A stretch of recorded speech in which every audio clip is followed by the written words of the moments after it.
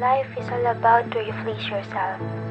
You can decide if you want to be a smaller or bigger one. There are some people who love you and for whom you are everything. And some people will just use you as a commodity, and for them, you will be worth nothing. So, it is upon you to decide the value of your life. Hi, ako si Jessica. Kilala bilang Jess. Panganay sa tatlong magkakapatid at isa ako sa mga taong hindi pinalad na magkaroon ng masaya at kompletong pamilya. Ngunit sa kabila ng mga pinagdaanan ko sa buhay, naging malakas at matapang akong humarap sa mga problema at pagsubok. Aminin ko man o hindi, naging mahina, duwag, at malungkot ako.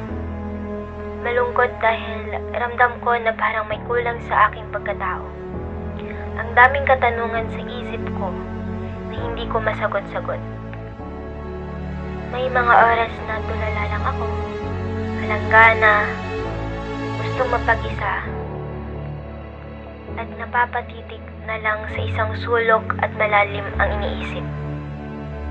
Madalas kong tanungin ang aking sarili, ano bang problema sa akin?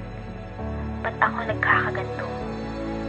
Lahat ng tanong ko sa aking sarili, alam kong ako lang din ang makakasagot. Naiisip mo na rin sumuko dahil nagsasabay-sabay yung mga problema mo. Pero, kailangan mong magsumikap, magpatuloy dahil ganyan ang buhay. One day, I realized that with art, you will know the beauty of life. I have learned how to appreciate little things. I have turned my weaknesses into strengths. I set my goals in life and find opportunity to learn more.